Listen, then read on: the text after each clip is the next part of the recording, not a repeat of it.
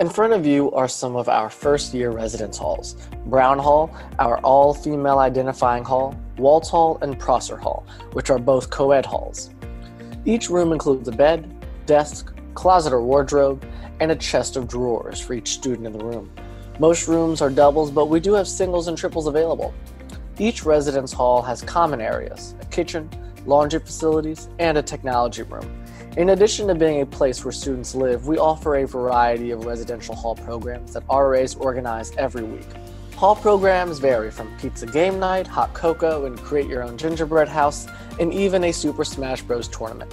During your first year, you have the option to choose your roommate or have our Office of Housing and Residence Life choose your roommate for you based on your answers to the roommate survey. Best piece of advice as an RA and just as a student. Be honest with not only yourself, but with the survey. For example, if you like the room really neat, that's okay. Just make sure you put it on the survey.